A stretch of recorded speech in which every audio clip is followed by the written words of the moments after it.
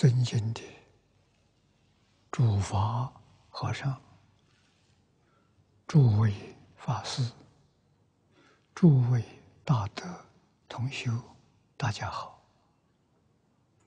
今天是二零一六年清明，中华民族万行先祖祭祀大典，即护世习在。万人念佛法会的第一天，来自世界各地的同学们共聚一堂，共同来祭祖念佛，因缘殊胜无比。主办方邀请净空来此与大家共享盛举，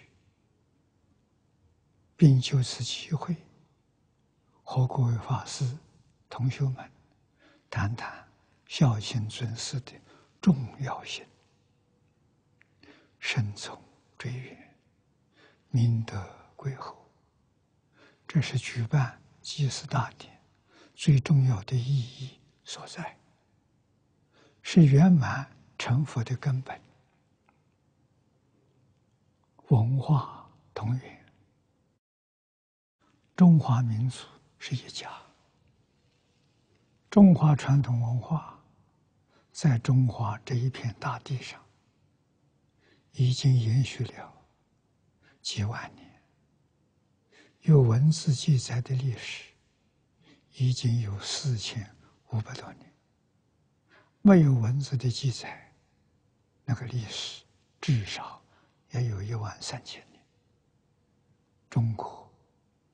历史上有记载的最早的祖先佛系史，距今有五千年之久。佛系教导百姓填语序木、画八卦、造书契，是中华民族的人文始祖。从佛系史到炎帝。神农氏，就已开始农耕的生活。再到轩辕皇帝成为天下共主，文明开始形成。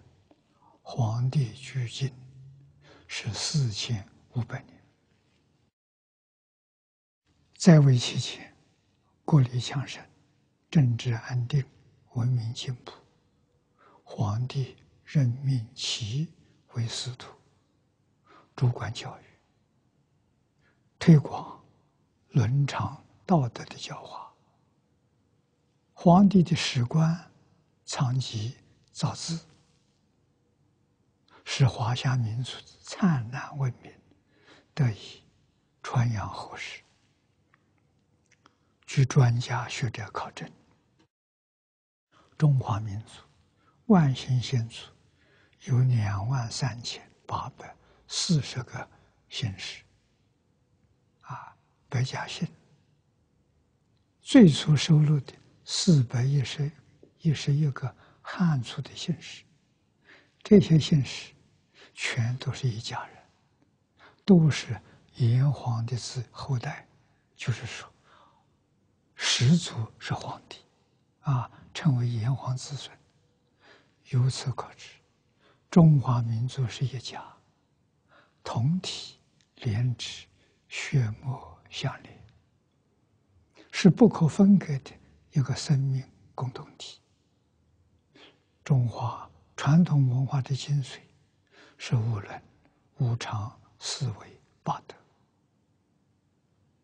这是自信本具的心德，是做人的基本德行。它绝不是什么人发明、创造的，二十千万年前的华夏祖先所留下来的德教传承。再传十万年，也不会传错。护人就是父子有亲，君臣有义，夫妇有别，长幼有序。朋友有心，这是人与人之间的关系。五伦不缺，这个社会安定、和谐、圆满。五常就是仁、义、礼、智、信，这是中国人做人的道德标准。仁者爱人，要爱人如己。推己及人，想到自己，一定要想到别人。义者循礼，起心动念，言语造作，要合情、合理、合法。礼是生活规范，是社会秩序，礼是有节度的，不能超越，也不能不及。是我们日常生活行为所遵循的准则和规范。智是理智，不能感情用事。人要理智做主宰，就不会把事情做错。现在人多半感情冲动，头脑不够冷静。头脑冷静，那就是理智，才能真正判断正邪、是非、正妄。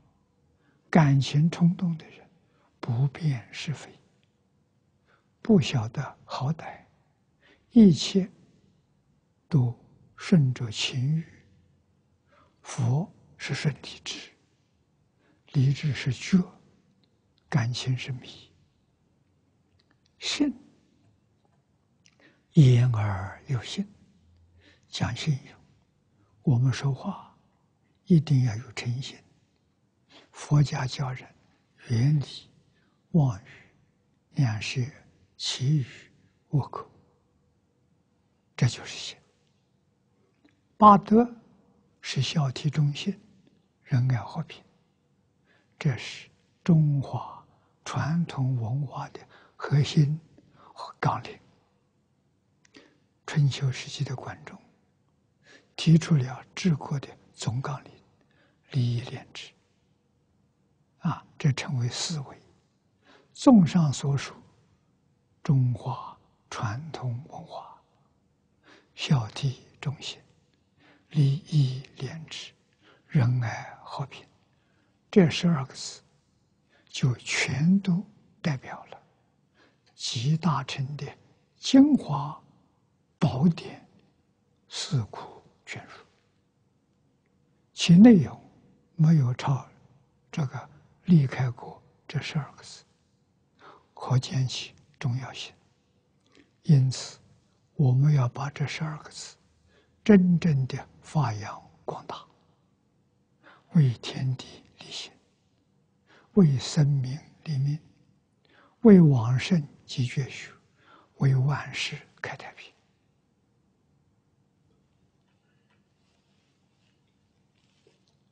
第二，孝亲尊师，万善万德之根本。家孝是中华文化根，孝是中华传统文化的特色。全世界其他族群里头有，没有中国人这么重视孝。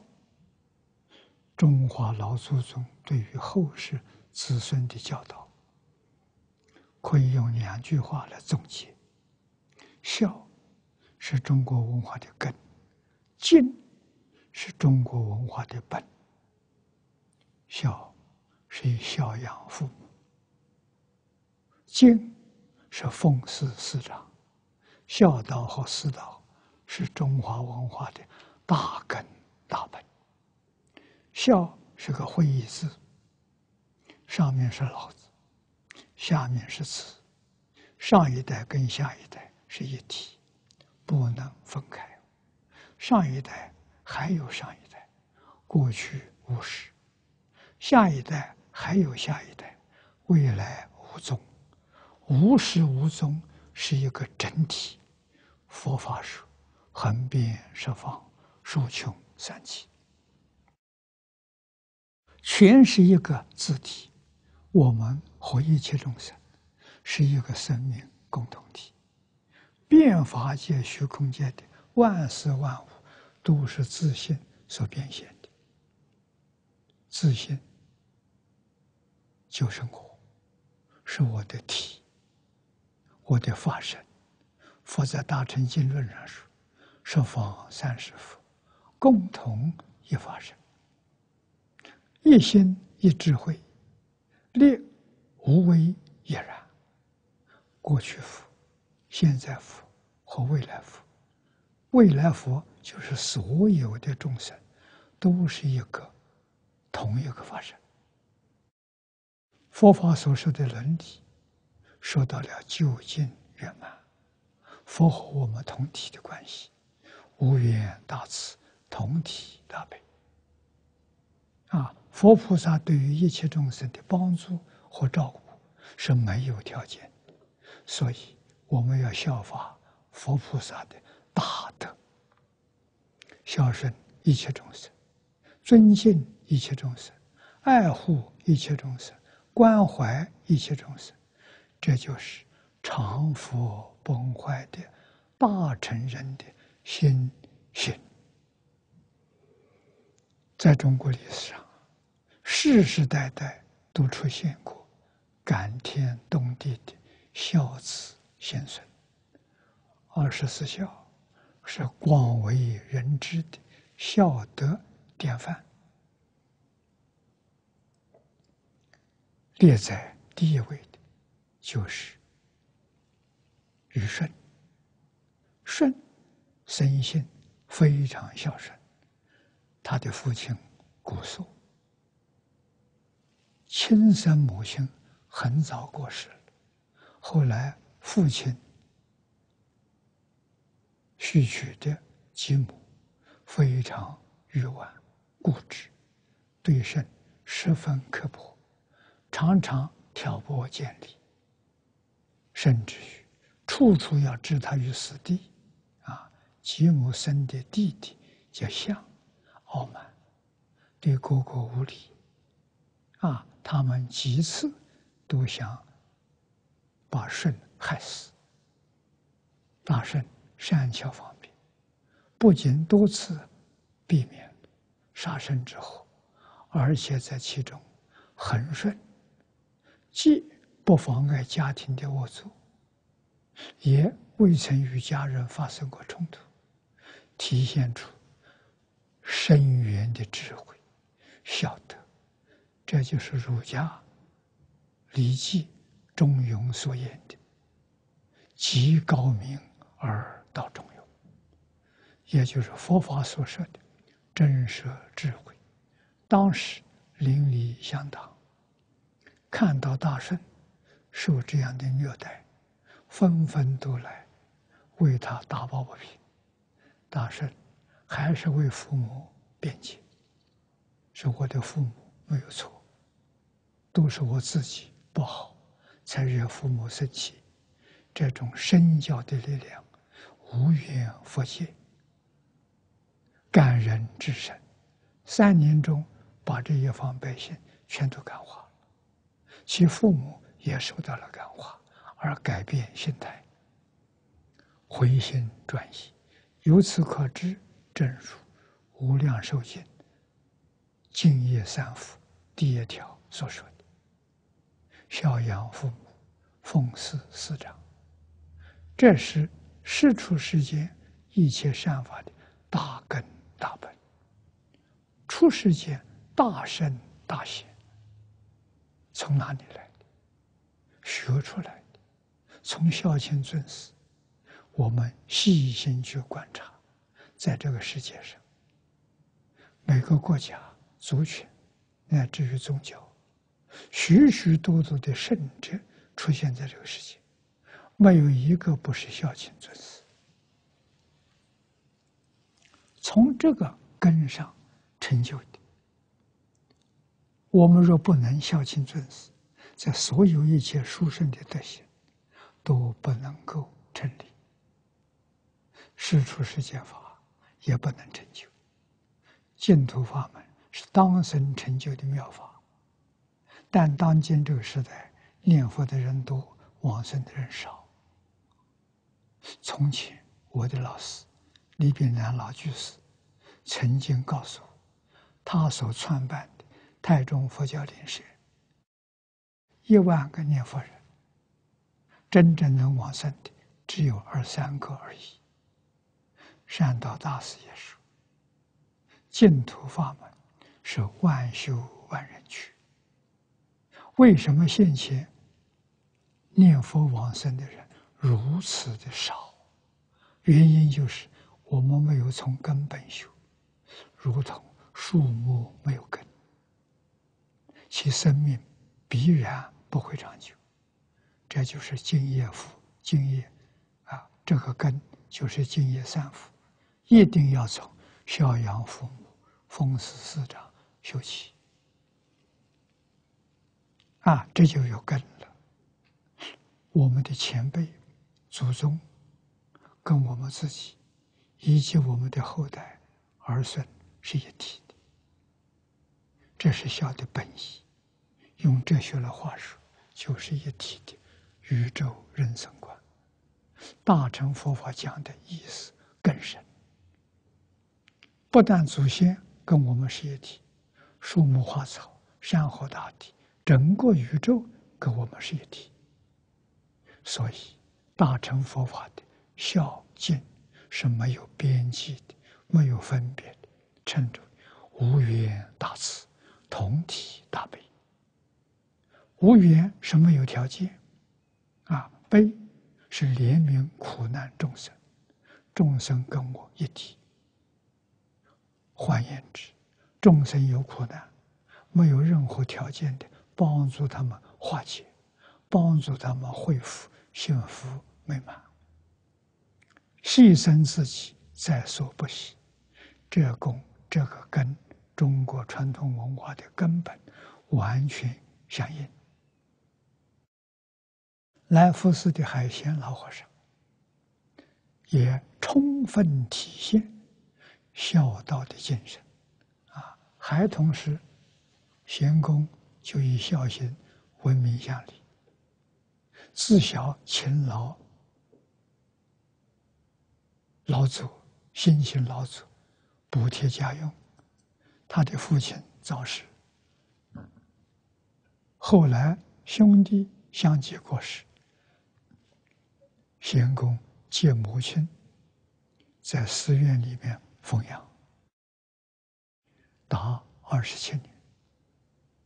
啊，后为母念佛诵宗，每年不忘祭祀父母祖宗，为大众做出孝养父母的。德范，人人若能效法海鲜老和尚孝亲尊师的德范，身心切愿，老实念佛求生净土，没有不成就的。下面敬是中华文化的本根本呐，无论是孔孟学说还是大乘佛法。都是以孝敬为德行的基础。佛法是四道，四道建立在孝道的基础上。我们称释迦牟尼佛为本师，啊，根本的老师。我们自称为弟子、学生。我们跟佛的关系是师生关系。印光大师说：“一分诚信得一分利益，十分诚信得十分利益。”沉静之心是从孝顺父母而来的。中华民族自古以来就非常重视孝道，所以重视师承的佛教，在这一片土地上才能够枝繁叶茂，人才辈出，尊师重道的教育，在我们这一代还有一些印象。上私塾，那个时候，父亲尊重老师，和身教，给我们一生留下深刻的记忆。直到后来，师师、师师，方东梅教授、张家大师以及李炳南老居士，啊，之所以能够有一点小小的成就，实在都是得力于父亲尊师重道的榜样。啊，我在四书的时间并不长。啊，由于民国时期的战乱，我们求学的生涯。历经艰难，满清亡国之后，中国这片土地，首先是经历军阀割据，接着是中日战争爆发，一直到第二次世界大战结束，战争的惨惨痛经验苦不堪言，都是我们亲身经历的。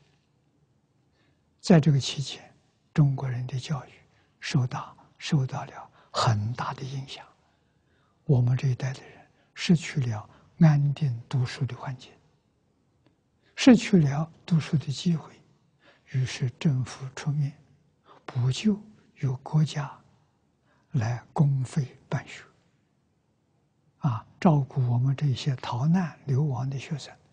抗战期间，我们念中学，啊，这个学校校长周邦道先生是我们的校长。啊，他心地慈悲，为人宽厚，一生从事教育工作，曾经做过江西省教育厅长。啊，他们夫妻和夫人夫妇二人，如同亲生父母一样对待学生，对待学生比对待自己儿女还要周到。啊，让我们过上最幸福的生活！啊，当时我们学校的学生有一千两百多人。啊，每当收到救济资物资的时候，师母一定是先发给学生，有剩下来才发给子女，没有剩下来的，他们子女就得不到。啊，学生晚上睡觉，老师每晚。至少要到寝室去看两次，看到年岁小的学生被子掉到地下，老师半夜要替他们盖被子。老师确确实实把学生当成儿女一样看待，照顾的非常周到。这些点点滴滴的关爱，今令同学们感恩戴德，永生。不忘校长夫妻，确确实实做到身心研教。那个时代的老师有道德，有品性，有使命感，对学生深入接触，希望下一代都能够成才，给国家和社会带来安定和谐。现在这个时代。像周校长那样的好老师已经不多见。我们有幸还能够亲近到几位好老师。啊，我的经教是师师李炳南老居士学的。李老师曾经在台中办内典研究班，共有六位老师，八个学生。六位老师，包括李老师本人、徐坤传老师、讲，还有讲普贤行愿品的刘如浩老师，以及徐新明老师、周嘉玲老师，啊，我也算一个。在入学的那一天，我们先拜佛，拜完佛之后，恭请老师上座。李老师代表家长站在面前，八个学生在后面，一起恭恭敬敬的向老师顶礼三拜。实际上，台上的老师都是李老师的学生，啊，全是老师的学生。李老师代表学生家长，对老师行最敬礼，是老师们受到如此隆重的付托。这些老师若不认真教学，怎么对得起家长？啊，今天家长虽然没来，李老师代表了。印光大师说得好：“一分诚信得一分利益，十分诚信得十分利益。”这是代代相传、古今不变的真理。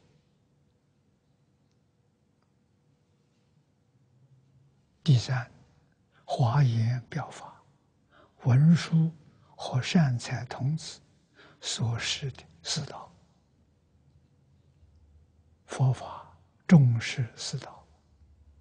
阿难问师佛吉凶经上说：“佛告阿难，有人奉佛，要从名师受戒，专心不犯，精进奉献。”不舍所受，学佛最重要的条件是亲近名师，入佛的圣贤教育，受众四乘，华严是佛法根本法论，在华严经中，善财童子和他的老师文殊菩萨所实现的，就是尊师重道。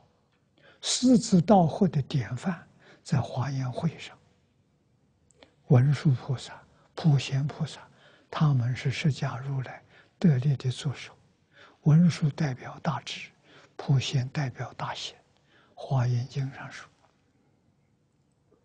普贤菩萨为诸佛之长子，文殊为庶男，文殊和普贤都是如来的化身所变现。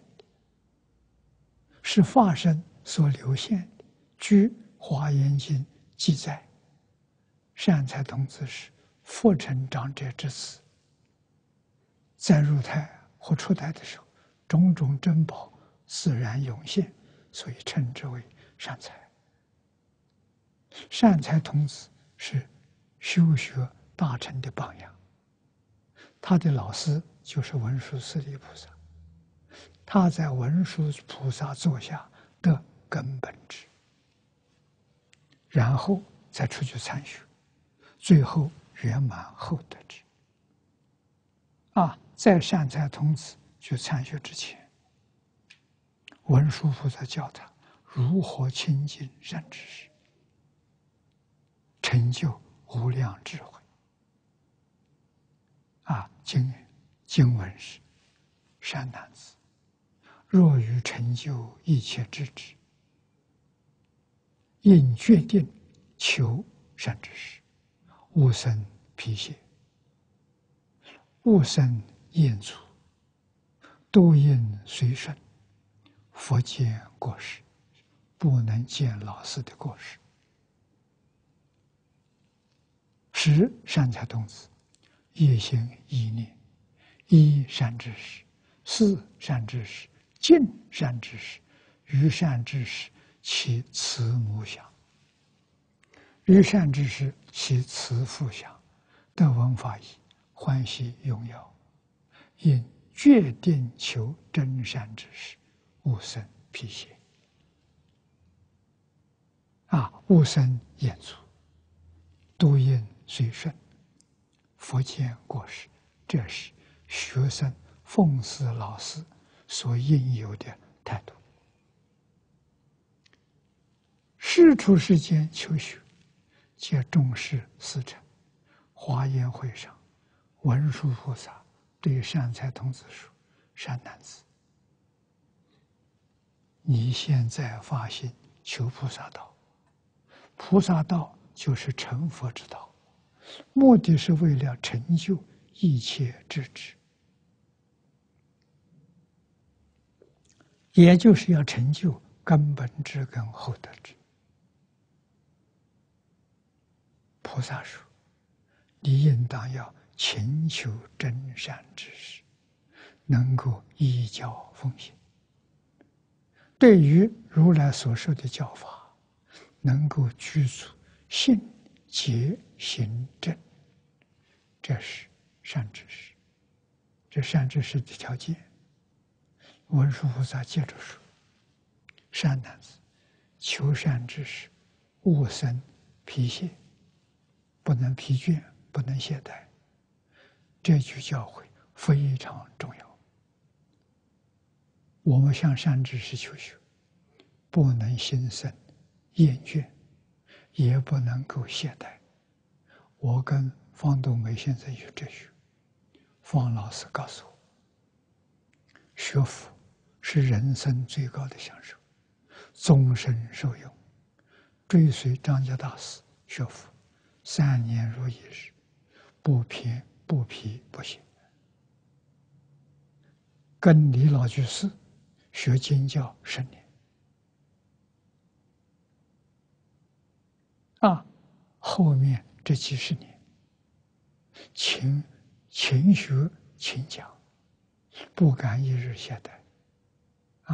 我之所以能够得到这一点成就。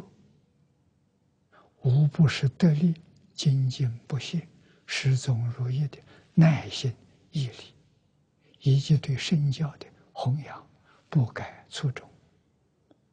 啊，因此向善知识学习，一定要持之有恒，无有懈倦；见善知识，不生厌足，不能自满。啊，不能得少为足。要知学无止境，活到老学到老学不了。如果学到一点就得意忘形，自以为是为师，这是决定错误的。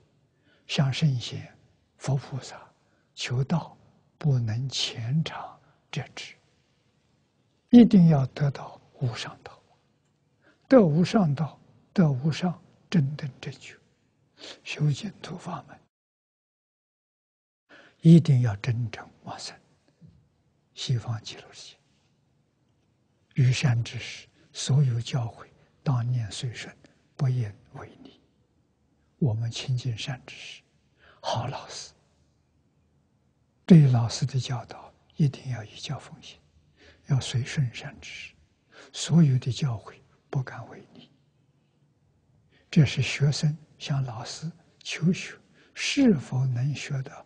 有所成就的关键所在，最忌讳的是阳奉阴违，表面说一套，背后做一套，背地里所作所为和老师的交接完全违背。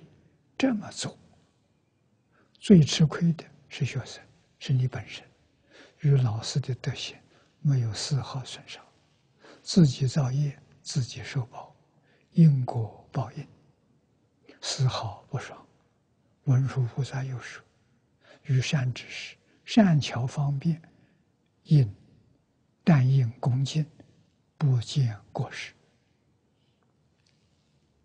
佛菩萨摄受众生，是极具善巧方便。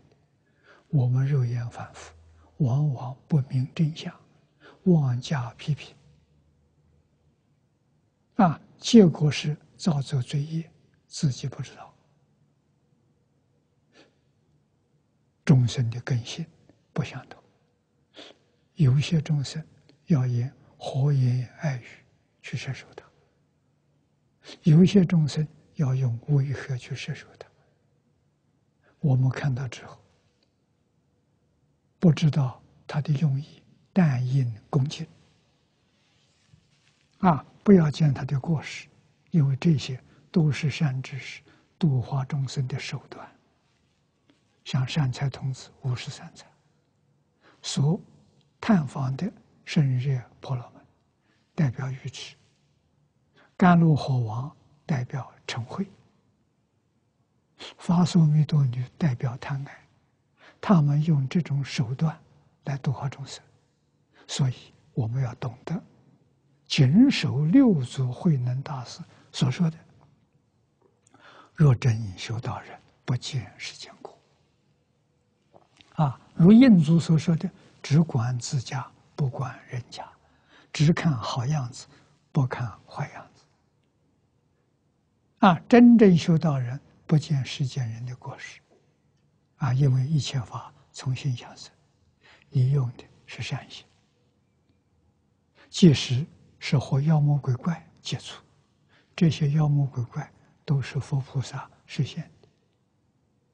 文殊菩萨的这一段开示，为我们修行人指明做学生侍奉老师、跟随老师学习所应有的态度，很值得我们认真学习。啊，第四净土大经里的四道，善导大师说：“诸佛所以心出世，为说弥陀本愿海。”这个意思是讲，十方三世一切诸佛实现在这个世界，为了什么？只为了一个目标，讲无量寿经，劝人念佛往生极乐世界。就这一个目的，没有第二个目的。净土法门讲信、愿、行这三个条件，欧岳大师给我们讲的很清楚。第一个，相信自己本来是佛；第二个，相信要信佛，信佛就是信老师啊，相信本师。释迦牟尼佛所说的，相信极乐世界阿弥陀佛老师所说的。